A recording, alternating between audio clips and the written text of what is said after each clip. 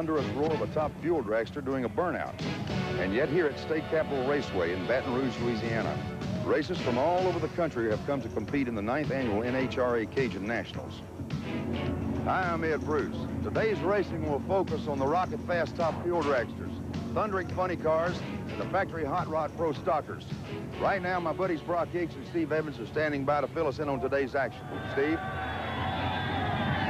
I'll tell you what, Ed, the people in this part of the world don't miss their one and only chance to see NHRA Championship drag racing. They have come from Louisiana, from Texas, Mississippi, Arkansas for three days. They have jammed this racetrack. It is the 10th annual 7-Eleven Cajun Nationals. And they have come in every possible kind of conveyance, from motorhomes to old school buses, any way they could get here. And they are having some kind of fun. Round one action is over. It was sensational. We're headed down to the far end of the racetrack to bring you the round two interviews right now here's Brock Yates. Well, I'll tell you what, Steve, the fans are packed into here today in part for this reason. The Candies and Hughes team, surely the hometown favorites, from just down the road in Houma, about an hour and a half south of here. They're the defending world champions in funny car, of course, and they came in here after having some problems earlier this season. But I'll tell you what, Mark Oswald qualified very, very well here and had a super race against Al Segrini in the first round. And this was that first round race earlier today. There's the bright red Candies and Hughes car with Mark Oswald at the wheel, 30 years old from Cleves, Ohio. Oswald's opponent in that first round race was this man, Al Segrini of southeastern Massachusetts. Segrini won the opening race of the NHRA season in California, the Winter Nationals, but since then has not seen very many win lights. In the near lane, it was Al Segrini driving Joe Pisano's car, powered by the new JP1 engine. In the far lane, Candies and Hughes. Of course, the car owned by Paul Candies, a native of this part of the country. And for Oswald, it was a first-round victory at 605, 236 miles per hour. Al Segrini had problems right off the starting line, shut the car down. Round one also paired up a couple of Californians who have been dominant forces in funny car racing over the years. Dale Pulde on a roll this season. Low qualifier here at uh, the Cajun Nationals and has won a number of races. On a contrast, though, Don Prudhomme in kind of a slump. One of the great names, of course, in, uh, in the sport, but having troubles this season so far. But at the Cajuns, it was Pulde who had the problems. He simply laid down too much power, and Prudhomme went on to victory. Don, you said before first round, Pulde was apt to make a mistake, and you got that break you needed there. I made one, too. I threw a rod out. So that's why the motor was coming up like it was? It was just running its own oil? Yeah, exactly. Yeah, gosh, it left real good on that. I thought everything was just fine, and bingo, I threw a rod out just a little ways off the starting line. Huh? I'm just surprised it didn't uh, start a fire. So that means in all of this heat, the snake crew is going to be changing motors. Yeah, that's exactly. We're used to it, though. Okay. Don Prudhomme going into round number two. A bit of luck. Well, Steve, round one also brought this young man to the line, Billy Meyer from Waco, Texas. Number two man in the World Championships last year. Kind of an iffy season so far this season, but Meyer always a competitor, always with frontline equipment, a new aerodynamic body on his machine. His competition was the 85 tempo entered by the Captain Crazy team from El Monte, California. The driver of the Bill Dunlap owned car is Ron Correni from Otterbein, Indiana. The latest in a long list of drivers, and at the finish line in qualifying, Correni might have wished he hadn't applied for the job. Look at this sprocket just lit up. The engine blew, that is fuel and oil trying to burn the tires and the parachute off the car. Well, fortunately, the chute stays intact, and that's helping to slow Ron down. Otherwise, he could have been in real trouble. He also manages to keep the car straight. Notice not a lot of fire in front of him, so he can pretty well pilot the car to a stop. Correni deployed the onboard fire extinguishers, and that, coupled with the five-layer fire suit that is required in NHRA competition, permitted him to walk away from this bad fire. But you have to wonder how he was able to get this automobile ready for competition. Prior to round one, Steve stopped by his pits to talk to Ron about the problem. Well, about 18 hours ago, after his qualifying run, a very discouraged Ron Correni uh, didn't see himself racing today at the Cajun Nationals. And Ron, I know you've been up all night. It still looks like the bottom of somebody's barbecue, but you're going to race, right? Yeah, we're going to race for sure. Uh, we got it all back together now, and uh, we're going to be in there in round one. How about mentally? Oh, I'm up for it. Yeah, it's uh, we kicked the rod out. I've been through this before, and uh, I'm ready. Well, I know a few years ago you blew the body off at Gainesville. Those are pretty frightening moments. I'm surprised you can you come back that quickly. I must be getting used to like driving in the dark. well, good luck. Thank you very much. well, the paint was scorched a little bit on Correnni's tempo, but otherwise, with a fresh engine, he was ready to go against one of the strong runners, Billy Meyer. In round one competition, it was a wild one right from the start. Meyer crosses the line. Correnni gets sideways, almost hits the fence, and pulls it out at the last second. Now, Correnni had no idea Billy Meyer had crossed the center line. He was too busy driving his own race car. And boy, did he handle this machine. Now watch Meyer, the Ford Mustang, in the right hand, the far lane.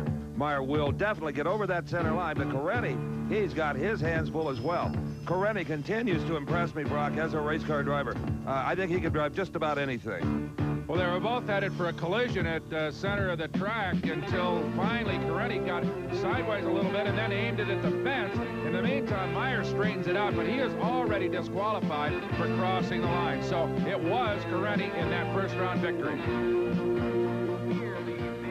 Well, for Ron Correnni, if anything's worn out on this car, it's probably going to be the steering wheel. Boy, you had to use it. Oh, I'm telling you, she's slippery out there. Well, I know you were trying to stay out of Billy's lane the best you could, and you managed. Billy was in mine, too. I mean, we were, we were knocking on a door. But uh, Prudhomme laid some oil down there, and boy, it was as soon as I got to it, I felt it. well, considering the uh, problems you had yesterday, it's got to feel especially good. Yeah, thank you, Steve. Yeah, it does. Ron Correnni goes into round number two. Well, Billy, you were having problems of your own, and when you got them corrected, you had to do what looked like some defensive driving. Well, I, I got over the center line, and it's a...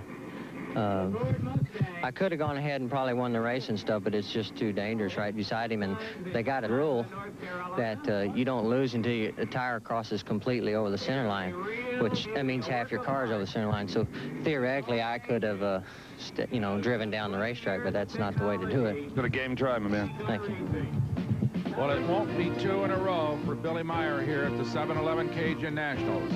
We'll be back with top fuel competition after this usual in the pit area at the 7-Eleven Cajun Nationals here in Baton Rouge. That is crew chief Bob Brent on Don Prudhomme's funny car. They are making the final adjustments after completing an engine change. Remember, Don blew his engine in that first race with Dale Pulde.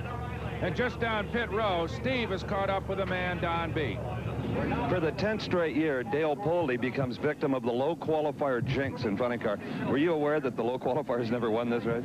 Uh, Bernie said it several times over the PA, so I had it pretty well drilled into me. uh, I didn't think that was going to be a problem, at least in the first round or two. But we just uh, overestimated the track. We got one good run out there yesterday. Didn't feel last night was going to show us anything for what was going to happen today. And um, we just took our chance at it, and we overestimated it. Well, this old warhorse goes out uh, in with some blaze of glory, low qualifier. That's the last time for this car. It's a good car, and uh, I think that's what we're going to do is have our Buick ready to race next weekend and just wait for it to get here. A new Somerset? New Somerset Regal. It's going to be the, a new car of its own. It's going to be different. See you at the Spring Nationals. You bet. More funny car action coming up, but right now, round one competition, top fuel. And Steve Evans, everybody recognizes that candy apple red car and the driver behind the wheel. Indeed they do, Brock. These folks know that Joe Amato is number one, the world champion. He'll be up against Texan Gene Snow, who's logged a lot of miles down this Baton Rouge quarter mile. Now, Amato started the year off uh, good and bad. He won the opening race of the Winter Nationals, but exploded two superchargers right off the top of that engine. Came back to the Gator Nationals in Florida, the second race of the season, and again, supercharger problems. Some incredible explosions. So Amato right now is struggling just a little bit. Gene Snow, Fort Worth, Texas, he literally invented the funny car, but now has fun as a sportsman racer in Top Fuel. Joe Amato, Old Forge, Pennsylvania, has an incredible automotive distributorship there, Brock, over 300 employees. And a fine, fine race driver as we watch his wife, Jerry, his constant companion on the starting line. She's the lady will direct him back into the right lane, the right position. They'll seek the maximum traction on a racetrack that can, with the heat down here, Steve, get a little bit slippery. And it can change from round to round, Brock, depending on the heat, the humidity. We got plenty of both today. Jerry Amato, that's an important function she fulfills. That car has got to be backed up exactly in those burnout tracks. Otherwise, the burnout was wasted. So, Amato in the near lane, that is the old veteran, Gene Snow, in a car that he calls Black Gold.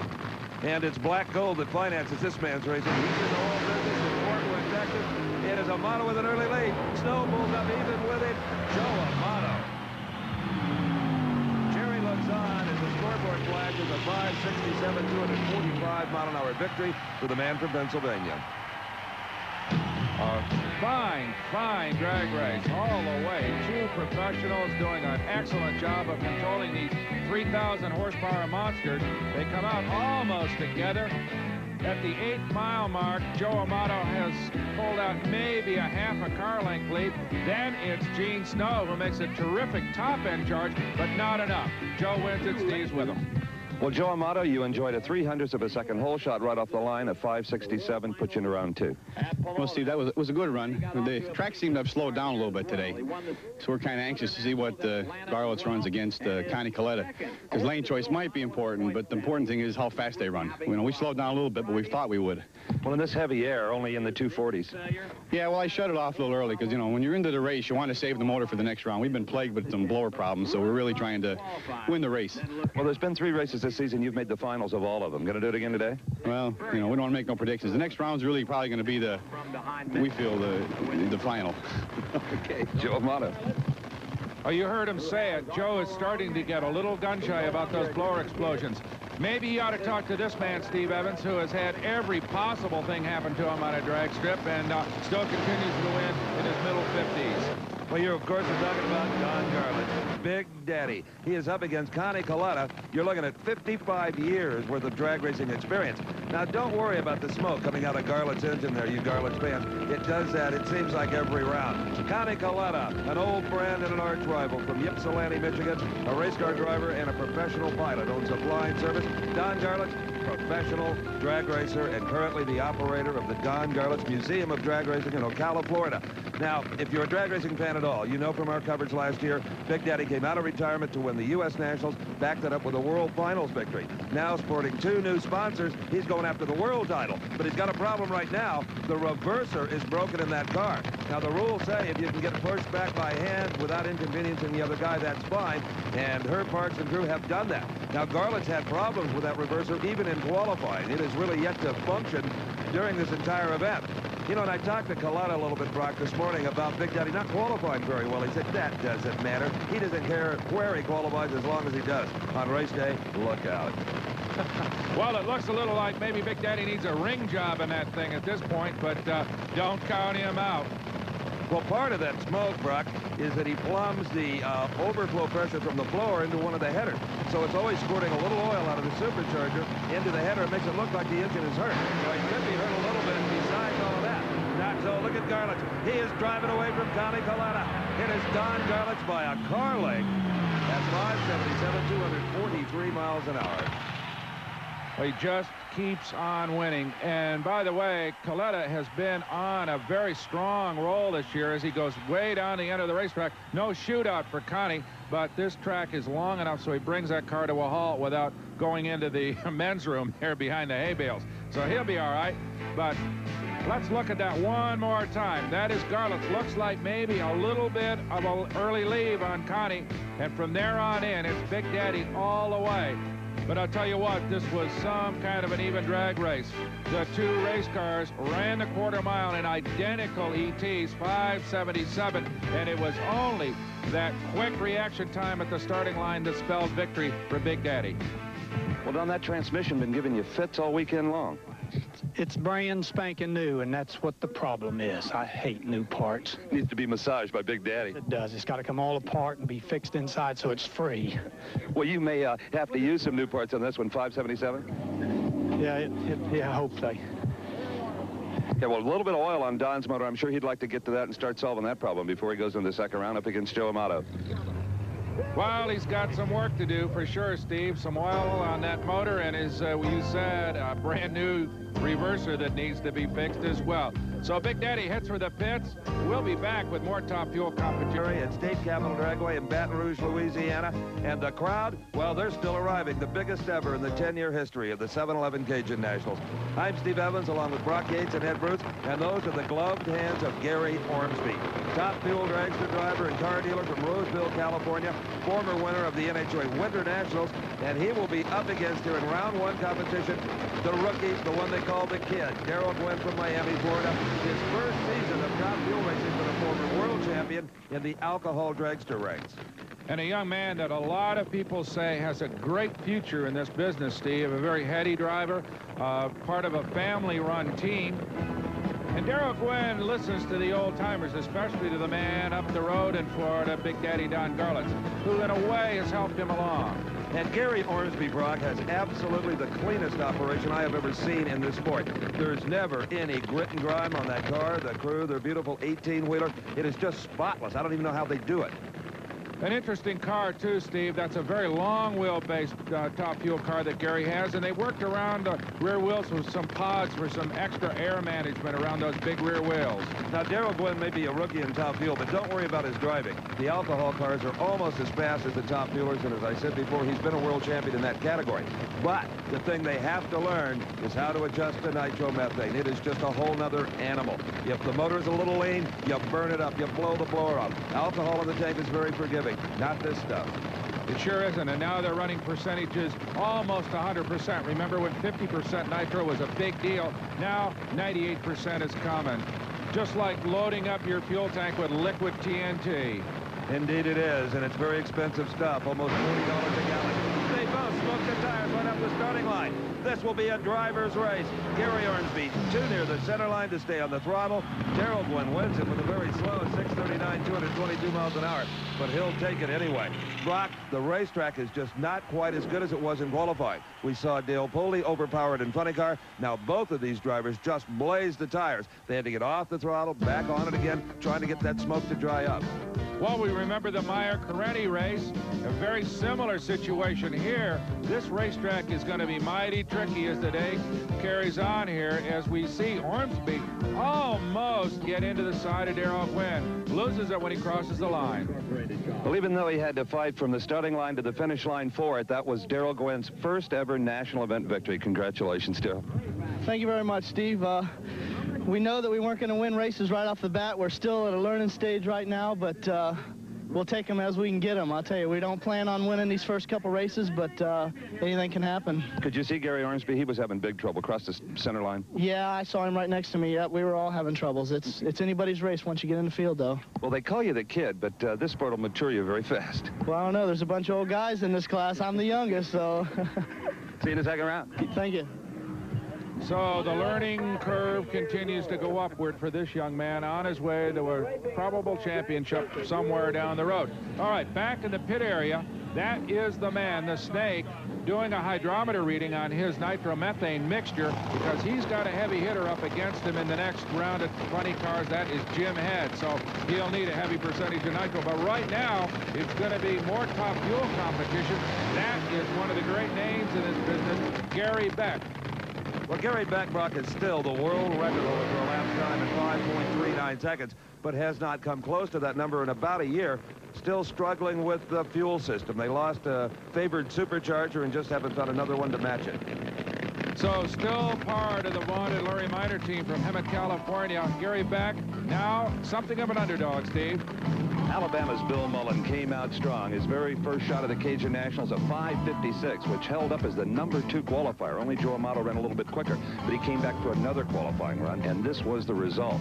A horrible engine explosion broke a couple of connecting rods, a little bit of fire resulted. Bill was okay, the car was okay, and as you can see, there is a motor back in. Again, at this car, he will race Gary Beck in round one. Now, uh, is that the motor that you ran 556 with, Bill? Yeah, we took the good motor out, and uh, we wanted to save it for the second round if we got by the first round. And uh, uh, fortunately, it's in good shape. We uh, we hurt the spare motor, and we last night John stayed up all night, and the rest of us stayed up part of the night and fixed uh, another spare motor. So this one uh, doesn't necessarily have to carry you through the day. No, we've got another complete motor sitting in there and a block assembly, too, ready to go. Does a top fuel driver have any idea when he's on fire like that? Can you feel any heat at all with it behind you? I felt the uh, vibration. I couldn't feel the heat. I guess the wind was taking it all away, but I felt the vibration. I felt like it kicked the rods out of it. It indeed did. Yeah, made a mess, that's for sure. Well, John Kerry, the chief mechanic and car owner of that car, a renowned diesel expert in the southeastern United States, and he and his crew bolted that engine back together, and Mullen is ready to go. You know, I think when you've been working on those great big diesel motors as many years as John Kerry, that these little aluminum racing engines are just like toys. I mean, he goes out here, explodes them, and it doesn't even phase him, Brock. That kind of work or broken parts doesn't mean anything to a guy used to working on those great big heavy equipment engines. yeah, these things are only about 500 cubic inches, little toys, really. Let's see how this race goes, though. It was Bill Mullen off the mark first. Bill Mullen, Gary McWheel, the wheel. The electronic finish line judge says Bill Mullen. Identical elapsed times. Both of them run 574. The second race today, we have seen identical ETs. Now watch the car in the far lane. Indeed, off the mark first just by a wink, but that is enough to spell a margin of victory because Gary Beck stayed with Bill Mullins the entire quarter mile. Fantastic drag race, one that you will very seldom see much closer. Looks more like a pro stock competition. The race cars are so close at the finish line, but Mullins pulls it out. Oh boy, thank goodness for electronics because the human eye could never have called that at over 240 miles per hour. That's a drag race. So on top fuel, the semifinals, we have this to look forward to. Mullins versus Gwynn. Mullins will have lane choice. He ran quicker. It will be world champion Joe Amato versus Big Daddy Don Garlits the second half of the semis. Let's go to Ed. Top fuel dragsters always generate lots of excitement. Sometimes the matchups and personalities of particular drivers just seem to intensify the competitive spirit. Let's take a look back at one such race. It was first round competition in Top Fuel, matching Connie Kalitta in a brand new car against Shirley Muldowney racing in the near lane. The history of Connie and Shirley's past involvement is well publicized, and it seemed to make each meeting between the two a tremendous battle. Both cars completed their burnouts and backed into the starting lanes. Shirley approached the line when suddenly we know something was wrong with Connie's car. It was stuck in reverse. He couldn't get it into forward. Shirley's car was now staged and her engine was possibly in danger of becoming too hot. Starter Buster Couch was waiting to see if Connie could solve the problem. And finally, too much time had elapsed, and he started the race, just as Connie got his car working. Shirley went on to win the race, and Connie Kalitta was hopping mad. But after all, that's what you'd expect, because those are the kinds of things of which rivalries are made. Fellas? well, Ed, you don't always need race cars to get a little action at a drag race when Connie Kalitta's around.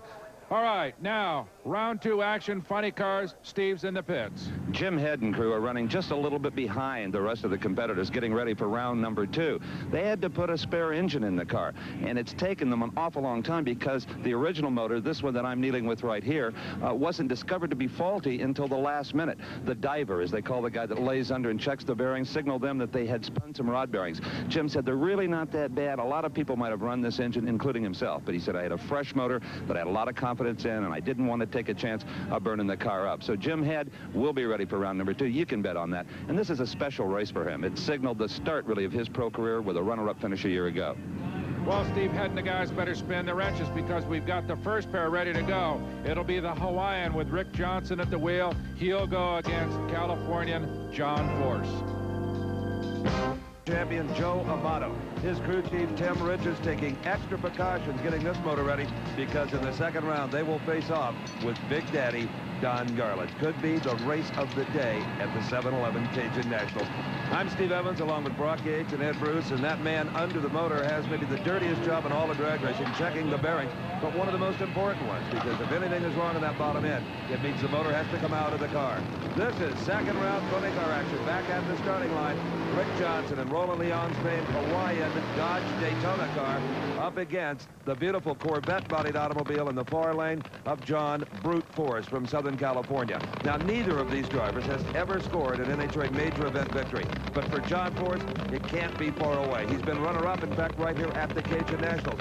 Rick Johnson earlier this year recorded the quickest elapsed time in the history of funny car racing at 5.58 seconds. The roof hatch opened, Brock Yates, uh, to let a little of that burnout smoke uh, escape. Yeah, no air conditioning on these babies, Steve. You know, this could be a mighty interesting race. This track is getting very treacherous. The heat's getting higher and higher all the time. We've seen some real sideways motoring in a couple of the other rounds. Peretti and Meyer come to mind. Boy, that was a wild one.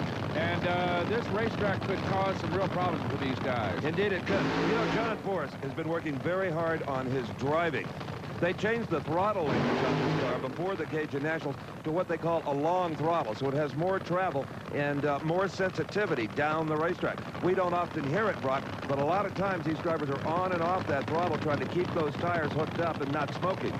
Well, I would imagine they've made some uh, pretty severe clutch adjustments in these cars because a couple of guys have just gone up and smoked, just uh, overpowered the racetrack, as you say. And uh, I would imagine that some pretty serious thoughts gone into clutch adjustments on these race cars. Well, the clutch on these cars can be as important as the engine because if the clutch locks up too soon, too much of that 3,000 horsepower goes to the rear tires, and you see them smoke, and that's a very easy way to lose a drag race. They move up the stage, and the near lane is Rick Johnson. In the far lane is John Force. Both cars based in Southern California. You see them tickling those electronic beams. Force, the last to move in. We are ready. Starter Buster Couch will send them on their way. It is John Force the line first. Rick Johnson near that center line. He did not cross it. John Force is there first by a car length. A 597, 244 miles an hour. And both crews appeared to have guessed right on that clutch. At least they got down the racetrack without any tire smoke. John Force will go to the semifinals. And proving that the shortest distance between two points is a straight line. That was John Force. Rick Johnson, on the other hand, kind of takes the long way around. He goes kind of a curvaceous route out toward the center line, almost crosses it right here. It gets the car straightened up, but at that point, it's forced home by almost a car and a half. Well, John, did you have to use that long throttle on that victory? Believe it or not, Steve, didn't have to. The guys coiling them, they had her, they had her dialed in. Uh, only thing really happened, and I just had to do a little growing up. Me and Coil talked about uh, just uh, mental attitude on that start line and the whole thing of concentrating on the race. And after 10 years of standing here with you, I can't believe I'm still learning every day. Rick Johnson was no easy one. No, no, it scares me. The likes of uh, Roland's been doing this a long time. Johnson's tough. He's a good old boy, but he's tough out there, and uh, I'm glad we beat him. Okay, going to the semifinals. Obviously happy is John Force. He sure is, Stephen, one of the most dedicated, hard-working funny car racers in the business. The next pairing, a mighty, mighty interesting combination. Oswald versus Bernstein. Bernstein car, an interesting component in there. That's a computer you're looking at, Brock. And computers are not new to drag racing, but this particular type is revolutionary. And they're really not talking too much about it. They're monitoring a whole lot of functions in that automobile. Something is working because they have won the last two races on the circuit, the Gator Nationals and the Southern Nationals, pulled both ends of the national record, ET and mile an hour. So the crew chief, Dale Armstrong, working with Kenny Bernstein, have got some serious speed secrets in that particular Ford-bodied automobile. So while Bernstein and crew have definitely found a combination, Oswald and Candies and Hughes, after winning the World Championship, are much like Gary Beck. They have sort of lost the combination. They just can't seem to make that race car work the way it is traditionally run, as we see Leonard Hughes, an old drag racer himself, helping to put that car on the line. But right now, the pressure is definitely on Mark Oswald, hometown crowd, a crowd that expects this race car to really. And so far, it has not been working very well during this entire season. Mark Oswald, world champion, hired gun from Cleves, Ohio, outside Cincinnati in the Candies and Hughes car. Kenny Bernstein and his big story, of course, the computer. Steve looked at it earlier. One of the reasons why Kenny Bernstein has won the last two NHRA national events and holds both ends of the national speed records may be this. Under four pounds, a little black box. Now, you've probably already guessed it is a computer. Now, we've talked about computers before on his car, but they were big, they were bulky, they wouldn't take the pain and strain of drag racing. This one is bulletproof. This is the actual computer that goes into the car before every run. It is then unbolted out of the car, goes into the trailer where this very simple, inexpensive computer is plugged in. But the data that comes out of the box is anything but simple. There's more than I could even recount to you. It takes 40 readings a second. It tells you the engine RPM every point down the racetrack. It tells them when Kenny shifts from first into high gear. It gives them a complete fuel flow graph. It tells you the shaft speed and the engine speed so you know the clutch slippage. Just incredible information that soon everybody may be privy to because they plan to market this unit in all forms of motor racing for under $3,000. Quite a bargain. Dale Armstrong and Kenny Bernstein have really broken some ground here. what a deal. If they could only get those things to get more than about 0.5 miles to the gallon, they'd really be onto something. Right now, though, Kenny Bernstein and Mark Oswald go to the line. And you wonder when you buy that computer if you get the same one. You know what I mean, Well, Kenny is really doing a job. He and that crew have come to a point where they are almost indomitable. This is anytime you go up against them, it's a David and Goliath act here. And right now, here's David. That is Mark Oswald inside the Candies and Hughes cockpit. Well, this will be a disappointed crowd if that red car in the near lane can't get to the finish line. They just live and breathe for that particular machine, and it's not going to happen. It is going to be Kenny Bernstein by a country mile. Oh, boy. He is really going to have them talking to themselves with this one. A 576, 245 miles an hour, when everyone else is stuck in the sixes and the 590s. Bernstein is dominant here. Car action here at the 7-Eleven Cajun Nationals. Baton Rouge, Louisiana. I'm Brock Yates along with Steve Evans and Bruce here as well. The temperature's going up. The engines are fired. That is Ron Carenti's Captain Crazy car. Remember, you saw it on fire during a qualifying round. Then a wild race in which he beat out Texan Billy Meyer. Carenti up against one of the really nice guys in this business, John Collins. He is a treat to be around. You're right, Brock. Now, his competition, Ron Carenti from Indiana, has been knocking around this Ford for years in top fuel and funny car. As I mentioned earlier, new to this ride. John Collins, when he's not racing the quarter mile, he's raising cutting horses on the family spread in Oklahoma. You know, Brock, I can't imagine John Collins can even come to the starting line here in Baton Rouge without remembering that incredible two-car collision with Ed McCulloch just a year ago. But he's back. A lot of people said he couldn't recoup, but he sure did. And back in a big way. He's been running very, very well with that funny car in the last couple of races. But still, the big victory eludes John Collins, as it does Ron Carenti. Neither one of these guys have a major victory under their belt. Now, I'll tell you what, if they flambe that Captain Crazy car one more time, there won't be enough left of it to race. That wasn't the only fire that car has suffered. You know, they worked so hard between rounds to get these cars ready. Well, there's a new device that'll help greatly in the area of the clutch. I looked at it earlier. Drag racers just love gadgets. Anything that'll save them time on the racetrack or in the pits. Now, this is a clutch disc. There's four of these in the slider clutches in the top fuel directions and funny cars. When the car is serviced in the pits, these discs are red hot. They are warped. They have got to be made flat again. Now, Fred Miller here from the Blue Max crew, this is how Fred has had to do it for years. Grind both sides of all four discs, a very time-consuming and inaccurate procedure. Now, Tony McGleasy here has developed the portable disc grinder. He and his son Lonnie build slider clutches. Look at this gadget. Boy, the racers are going to love this. The disc goes on. There's an abrasive uh, sanding disc in the box. Push the button. It spins it up to 400 RPMs and will grind it to any tolerance you like. You shut the door so all the dust and little pieces go out the bottom instead of in the atmosphere. I tell you, this could save uh, up to 10 or 15 minutes getting a car ready for the next round. It only sells for $500. Uh, boy, I'll tell you, this gadget's going to be real popular could replace tape decks is the next big phrase in the car business, Steve, as we watch Ron Carenti and the Captain Crazy car get ready to go against Collins. First, but here comes Carenti. He is really driving that race car, and he gets there first. Lots of smoke, but no sign of any fire. How about Carenti? He was off the mark a little late, but he sure made up for it down the course. He wins it at 596, 242 miles an hour. Terrific drive by Carenti. This is a big surprise. This Captain Crazy car is running as well as it's ever run. We sort of thought Collins might have him. There's a lot of smoke. Carenti looks like he's going a little sideways all over the racetrack. Collins goes straight, but in the end, it's Ron Carenti by a wink. Terrific drag race. Okay, he'll go into the semifinal round, something of an underdog. Well, the body may be a bit flambéed, but for Ron Carenti, this is his best day in national event funny car racing. Good, good job. Thank you very much, Steve. Lots of smoke. Oh, we heard it that time. Uh, we got some work to do. Have you got the parts and the pieces? Yeah, we got the parts. Yeah, we'll be back. some way, we'll be back. Well, you've already proven that, coming back from that far on Friday. Thank you. All right, Ron Carenti got some work, as he says, back in the pit area. They hurt that motor pretty badly. A disappointed and a somewhat surprised John Collins comes over. Always a traditional handshake at the far end of the racetrack. These competitors very, very much sportsmen when it is all over. All right, the next pair, the big name, Don Prudhomme against the unsponsored car from Columbus, Ohio. Jim Head probably one of the biggest upset winners in the history of drag racing when he won the U.S. Steve. And he won the U.S. Nationals, Brock, not with sheer power, but by not making mistakes. When you go up to race Jim Head, you beat him. He seldom beats himself. And remember, these are both new power plants since the first round, uh, unproven in some ways. Interesting strategy, Head. Uses. He's a lot like a golfer who doesn't hit very far off the tee, but always stays in the middle of the fairway. Very consistent, very conservative.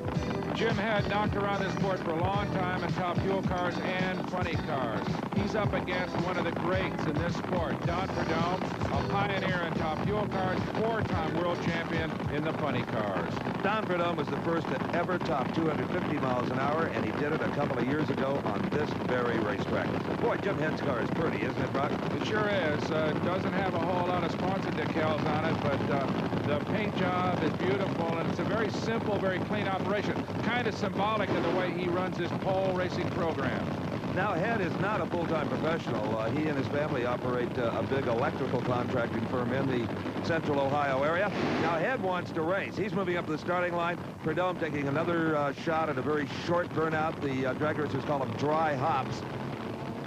I wonder if that is a result of this racetrack getting slipperier, Steve. Prudhomme, I believe, has shut his car off. He has. Prudhomme, not liking the sound of it, shuts it off. It'll be Jim Head on a single run. And I could have told you this had happened. Jim Head is not going to make an all-out run. He doesn't care about lane choice. He cares more about saving the nitromethane and the parts. And there is one very disappointed Don Prudhomme. His adrenaline was up. He was ready to race, and suddenly the engine shut down, and he is out of it for the day. A very tough break for the former world champion. Okay, the funny car semifinal pairings will have a couple of new faces. Ron Coretti versus Jim Head. Force versus Kenny Bernstein. Bernstein, of course, the most familiar and the most successful of that lot. As Don Prudhomme gets ready to go, let's go to Steve, who's in the Kenny Bernstein pit as he gets ready for his next run. Well, you got to be a lot of things in this sport, including a chemist, as Kenny Bernstein takes a measurement on the nitro reading. Uh, can you tell us how much? Sure, we're up to 94% today. Which 94%? Yeah, it's quite a bit for us or for most of them, but you got to realize it's real hot out, and the hotter out it is, the more you can actually put in it. So it's a little different today than normal. You know, of the cars remaining, John Force is not the one you wanted. No, I've got the, the tough ladder side today. Needless to say, we started off with a, a tough one, and then we got Oswald in the second, and Force is, like you say, I could have picked a lot better. Force can beat you on desire. Well, he can. He's a very, very hard competitor, and he wants to win as badly as anybody does. And uh, don't forget, he's got an excellent crew chief over there also in Austin Coil. Should be a good car race. It will be. No question about it.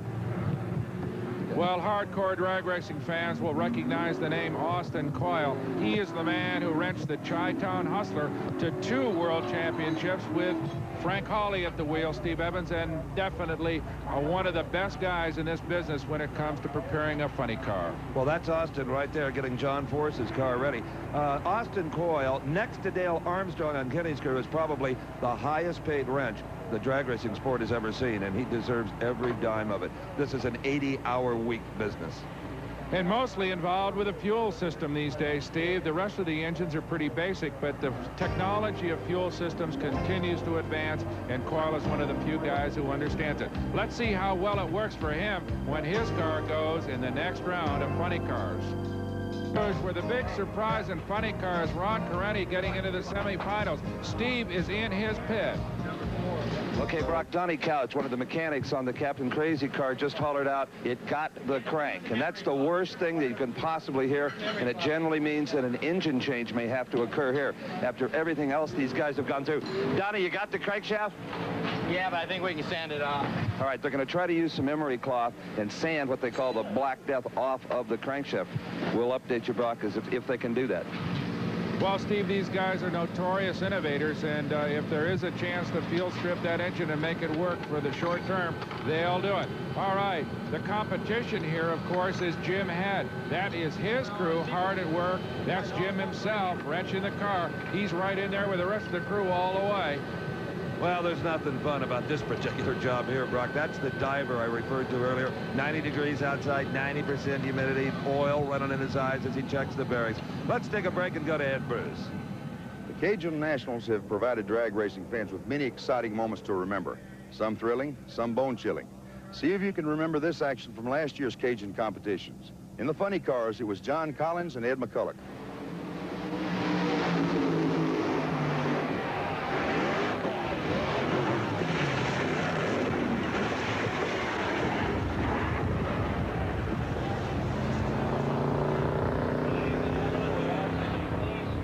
Without a doubt, one of the most incredible crashes in the history of drag racing.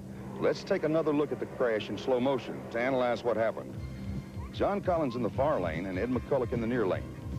At first, both cars appeared to be okay. Then suddenly, McCulloch lost control and slammed into John Collins. Collins' car spun and rolled over as Ed McCulloch's car got up on the razor edge of the guardrail.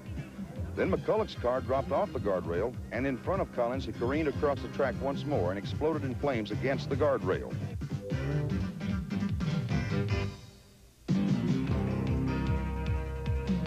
At this point, both cars were upside down and consumed in flames.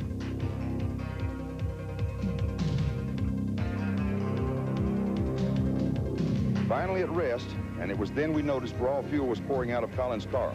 But luckily it didn't ignite, and then miraculously both men emerged, shaken up, but unhurt.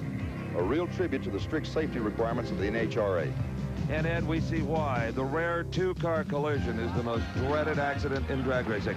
Here's an update on the Ron Cairney situation. The motor is staying in the car. They have sanded that crankshaft. And crankshaft damage Brock has to be taken very seriously because if that crankshaft breaks or seizes on a run, that is the quickest way there is to burn one of these cars right to the ground.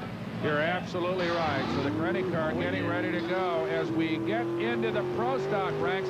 That, of course, is Etta Glidden, Bob's wife, the lady who has done so much to make this particular car the fastest in the business. And this will be an all Thunderbird affair, Brock.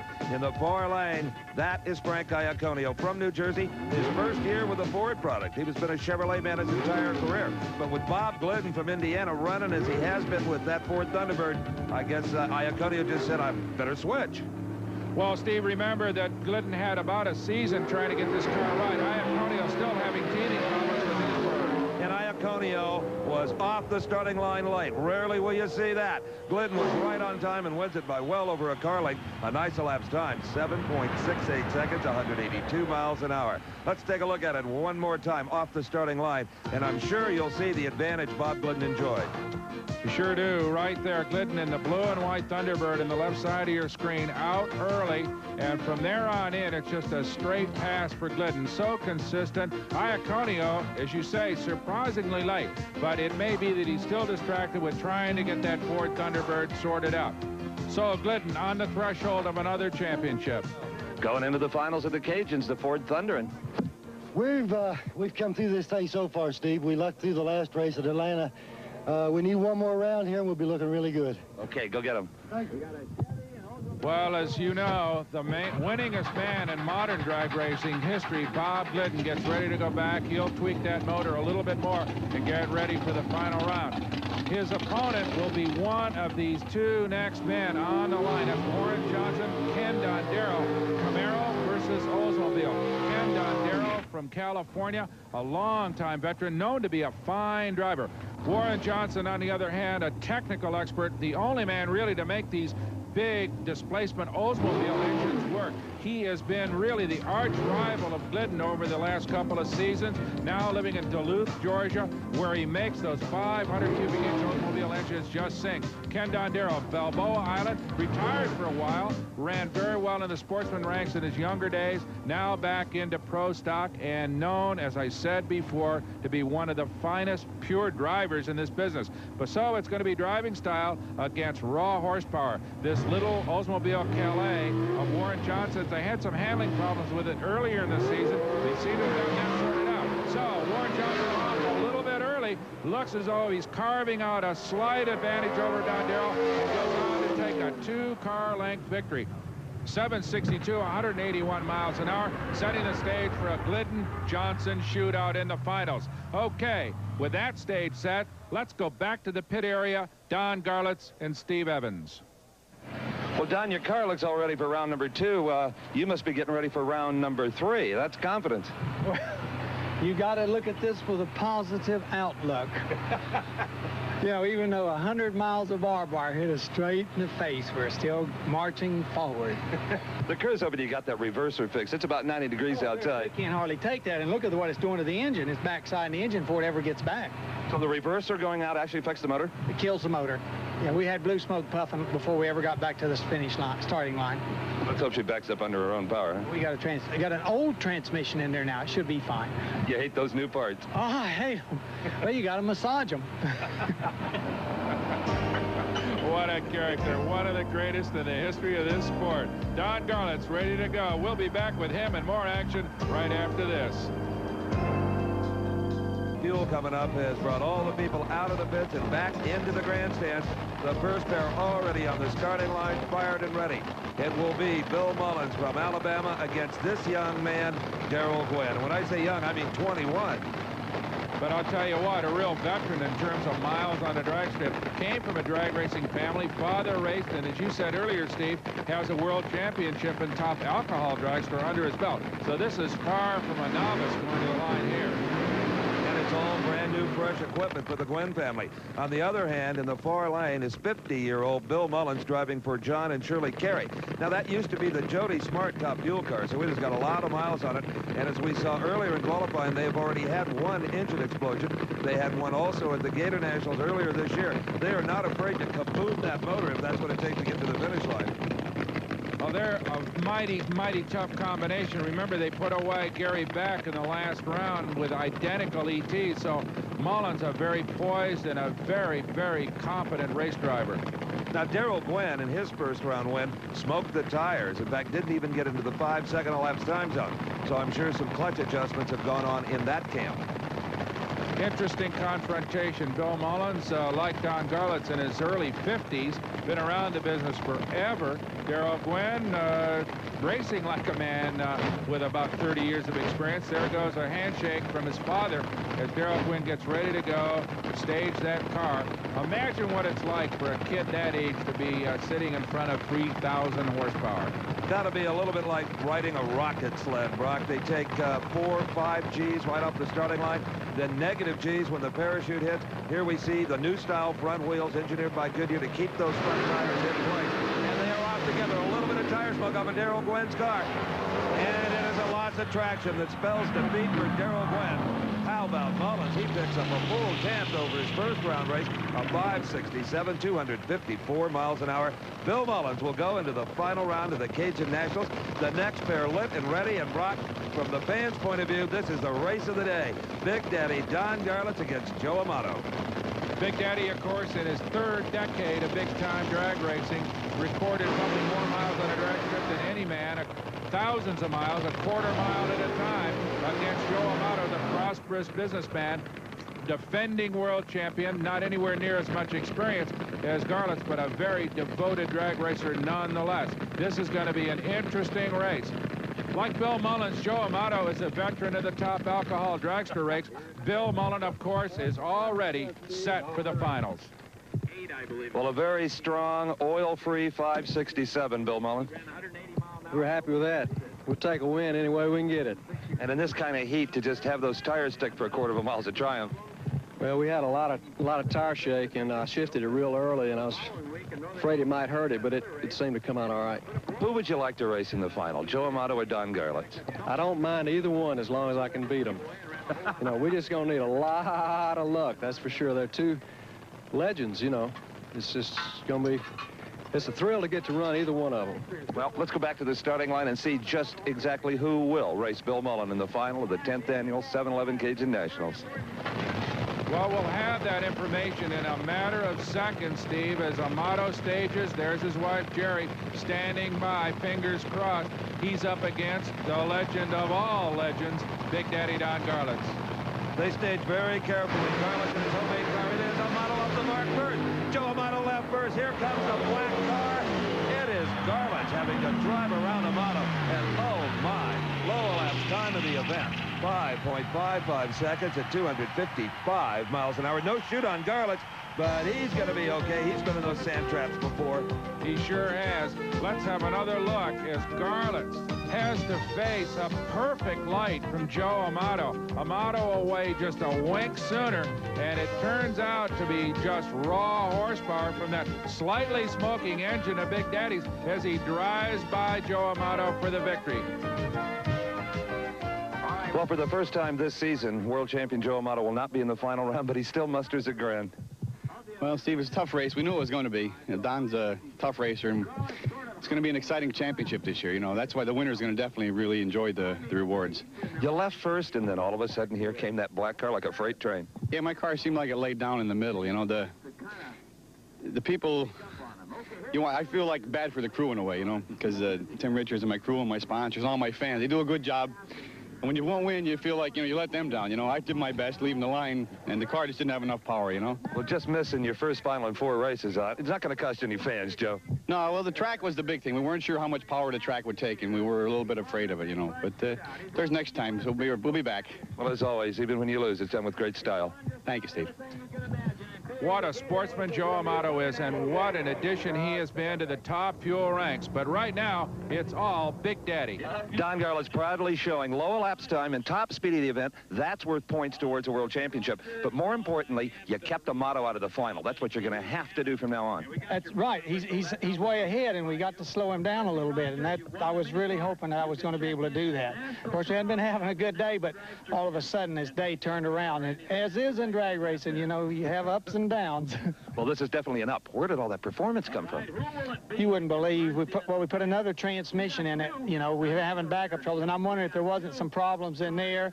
And of course, that's what hurt the engine on the run before. The time that the delay, while they were pushing the car back, it actually hurt the engine. And then we made the run against Kalitta. There wasn't nothing you could do. But that time, you know, it backed up perfect. Me and Joe went right up to the line. Everything was fine. These engines are very critical on heat. You're excited, aren't you? Yes, I am. Big Daddy, the winningest drag racer of all, can still get excited going into a final round. Look at him beam. well, we're beaming too because it's going to be a couple of veterans, a couple of good old boys. Mullins versus Garlits in the finals for top fuel here at the Cajun Nationals. I'm here at Baton Rouge, Louisiana. It's time for the semifinals of funny car competition in the 7-Eleven Cajun Nationals. And two very distinctively different personalities. Kenny Bernstein in the far lane. In the near lane, John Force in the Corvette-bodied car. That is Austin Coil, the crew chief we were talking about earlier for John Force. Now, Austin does a lot of things on that starting line, and they communicate with hand signals. You saw him backing the car up, now bringing it forward. He'll decide whether they need to make another little short burnout or not. Those burnouts can be hard on the clutch. And he'll also watch those tires very carefully as John does that little dry hop to see how the tires grip. And then with another hand signal, he'll tell John how hard to bring that car off the starting line. Now, Kenny Bernstein's Ford Tempo, well, it's rumored that a lot of this car is computer controlled. We took a look at that earlier. Dale Armstrong on the starting line, he'll simply back Kenny up. That's about it two interesting contrasts with these drivers, Steve. Bernstein, of course, an entrepreneur in his own right, got rich in the restaurant business and backed off a little bit in his drag racing activities as we watch Austin Coil uh, back up Force, who is a full-time, hardcore, traditional drag racer. John Force has literally clawed his way to the professional ranks. He was a truck driver and part-time drag racer for many years. He went out and very aggressively solicited sponsors without even a national event to his credit, but just through perseverance and hanging out in a lot of offices and just saying, I'm not leaving till you talk to me. John Force has made a career out of this. Now, Austin Coil gave John an OK signal, meaning hit it as hard as you can off the starting line. They are staged and ready. They live right together. But up in smoke goes John Force. He is trying to drive that car while it blazes the tires. Now there's smoke out of the exhaust pipe of Kenny Bernstein's car, but he wins it at 609, 185 miles an hour. But hurt a motor, I guarantee you. Well, Austin Coil may be rethinking that. Had he given him the sign to take it easy, he would have beaten Bernstein because Bernstein's motor broke at the other end, and a conservative pass by Force would have won that race for him. Okay, Jim Head getting ready to go, and you can count on a conservative drive by this man. That is his stock in trade, and he saw, of course, Force go up in smoke, so he knows this racetrack is treacherous and difficult to read. He is also in Force's lane, so that will make Jim Head even more conservative as Ron Carenti and the Captain Crazy crew, they have never been conservative in their entire career. They're going to go at it as hard as they can. Okay, Kenny Bernstein looking over that damaged engine. Well, Kenny, not really uh, what you wanted performance-wise, but you get the finals. That's what's important. Well, yeah, but we got a lot of work to do. All right, Kenny Bernstein, Dale Armstrong, and crew headed back. They popped that motor. They know it. Kenny jamming in the rig. We'll check on them in the pits.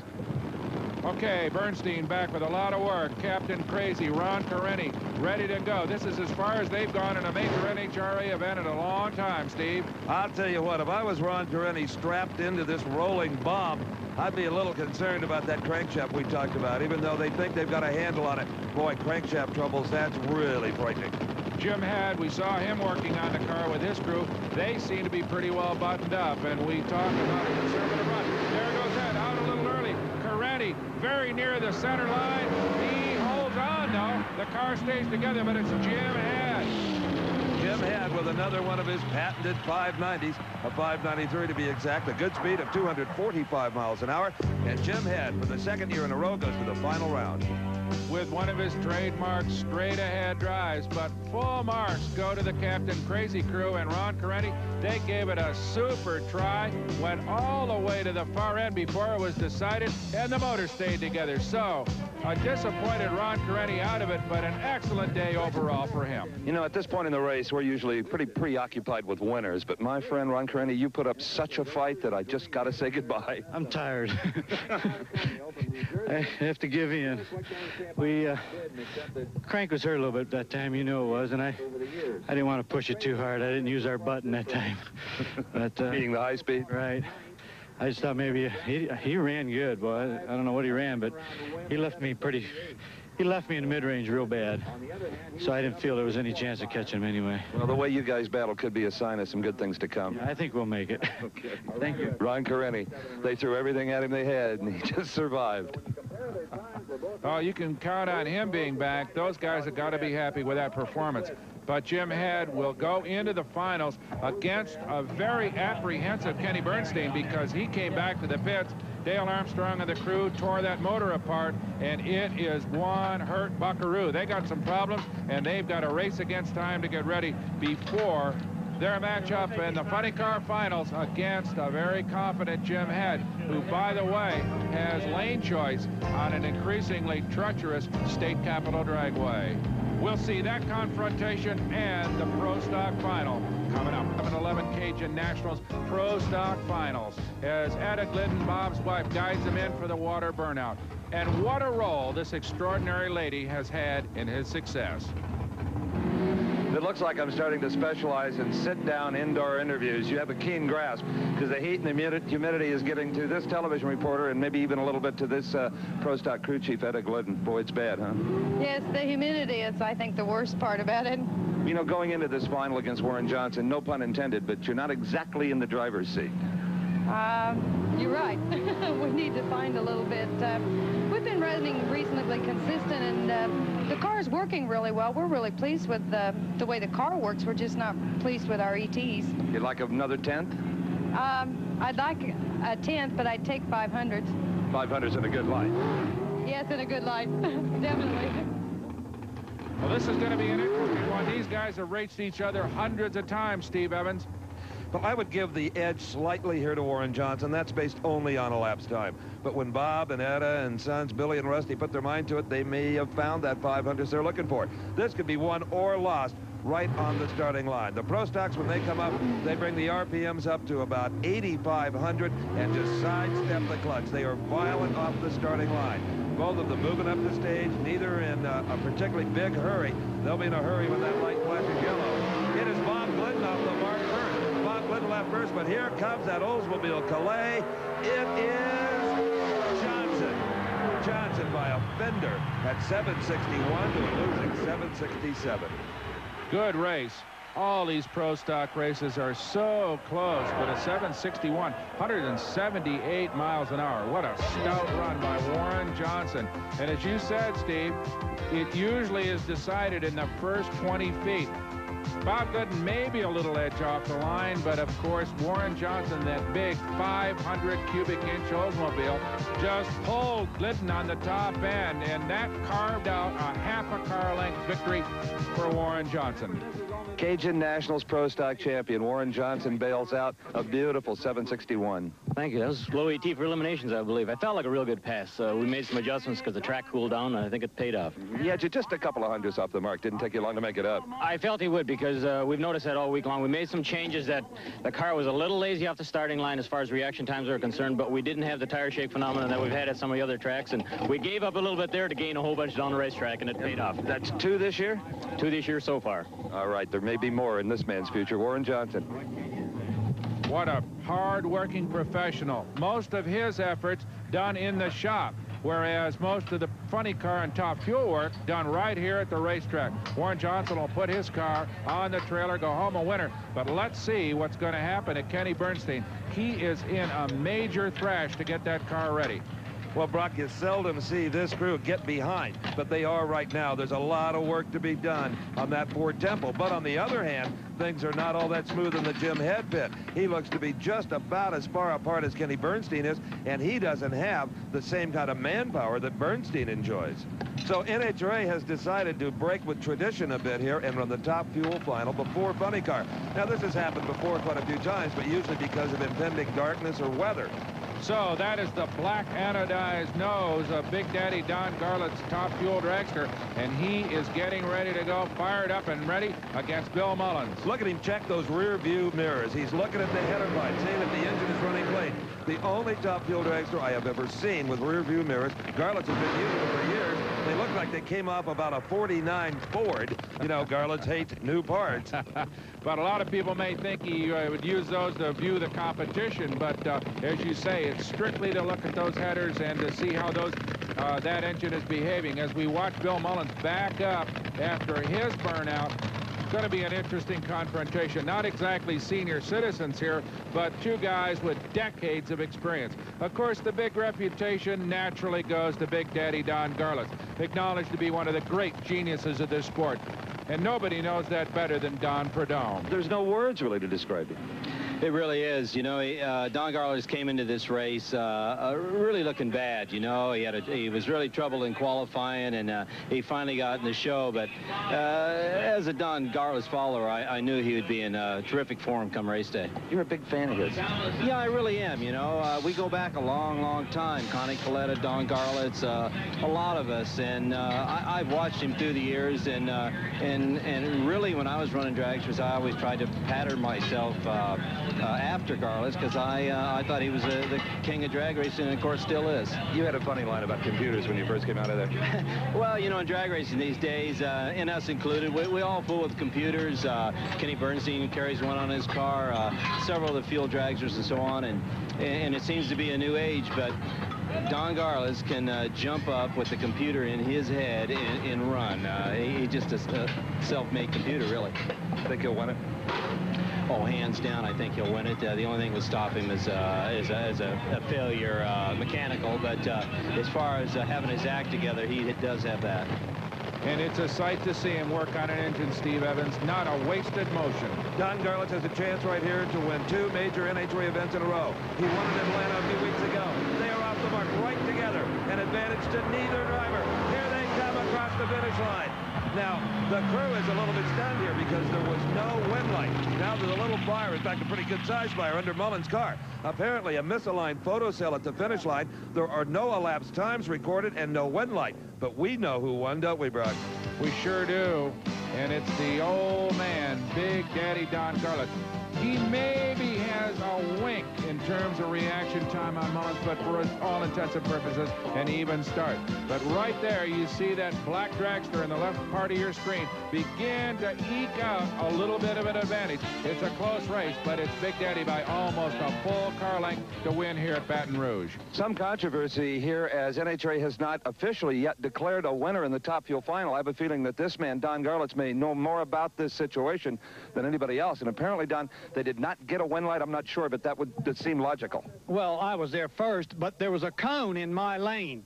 In other words, one of the top-end cones was laying in my lane. I had to drive around it. Probably one of the pro stock cars parachute sucked it I out. I guess it did. I don't know. But I won the race. Wasn't, he wasn't even there. Okay, well, let me tell you, that's your 25th NHRA national title.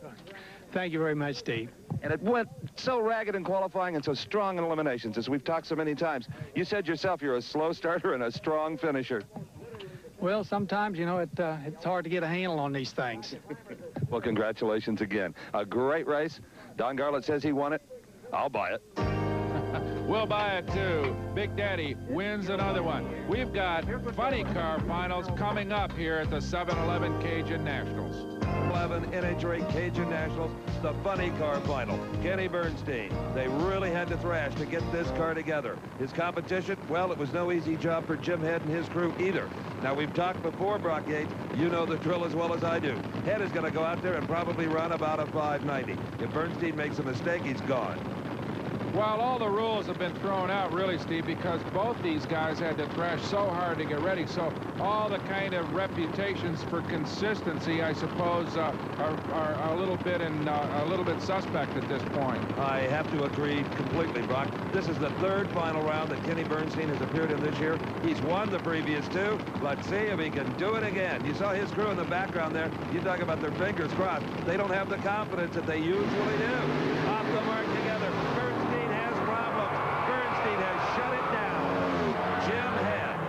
his second ever NHRA national event. The Cajun Nationals is his at a typical Jim Head 5.93. Same ET as his uh, run in the semifinals. So consistency pays off. It was Kenny Bernstein that uh, unfortunately made the mistake against the machine like Jim Head. Let's take one more look at it. It was really over before it started.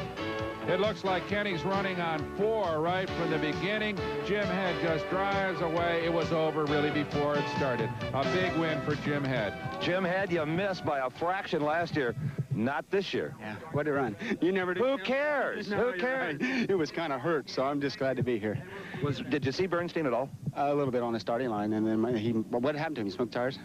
I don't know, just gave up. It was hurt, I think. His was. Mine was hurt, too, so I'm just happy to be down here. Guys like Kenny Bernstein that are racing for those valuable points and all of that. But uh, a win like this can keep a guy like you racing financially. Well, it definitely helps. There's no question about it. And along with the valuable points and all that good stuff. We finished sixth last year. I'd sure like to move up to a few notches. I have a feeling you'll do that. Jim Head wins the 7-Eleven Cajun Nationals.